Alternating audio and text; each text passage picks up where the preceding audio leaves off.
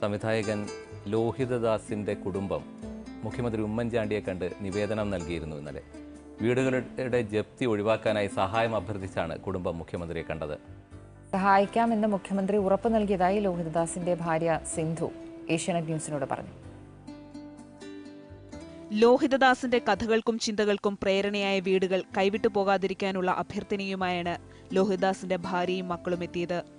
കലയ്ക്ക് വേണ്ടി ജീവിതം ഒഴിഞ്ഞുവെച്ച് ലോഹി സ്വപ്ന സാക്ഷാത്കാരങ്ങൾക്കായി വീട് പണയം വെച്ചു. ആലുവയിലെയും ലക്കിടിയിലെയും വീടുകൾ പണയം വെച്ച് വായ്പയെടുത്ത പണം കൊണ്ടാണ് സിനിമകൾ നിർമ്മിച്ചത്. പക്ഷേ ആ സ്വപ്നങ്ങൾ പൂർത്തിയാക്കാനാകാതെ ലോഹി യാത്രയായപ്പോൾ ബാക്കിയായത് കടങ്ങൾ മാത്രം. വായ്പ കുടിശ്ശികയും പലിശയും ചേർന്ന് വലിയൊരു തുകയായി.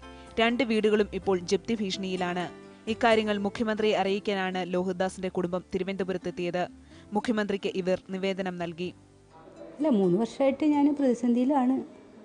പിന്നെ, ആധാരത്തിലുണ്ട്. അത്താഴത്തിനില്ല എന്ന് പറയുന്ന കഥയിലാണ് ഇരിപ്പ്. അപ്പോൾ അതിനൊരു പരിഹാരം പരമാവധി ഒരു സഹായം കിട്ടണം എന്നുള്ള രീതിയിലാണ്.